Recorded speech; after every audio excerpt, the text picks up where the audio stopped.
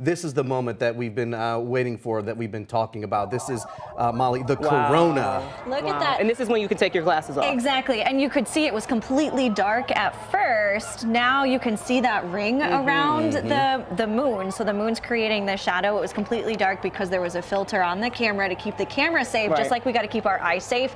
So they were able to take the filter off and now you can see.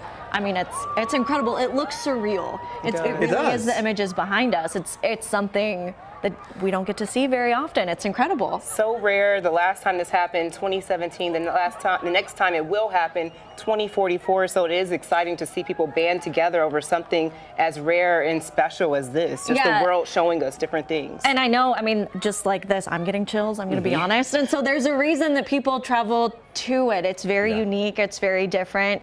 Um, and it really, I mean, I'm in awe of how many people are pumped to see some science happening right in front of our eyes. And we don't have totality here in the future in 20 years. If you can go see totality, this is why you want to. It's very, it's super cool um, just to see that corona. And you can see some of the bright spots. I know here in Milwaukee, if you're looking at it there. Uh, so we'll start to have our maximum totality right about now.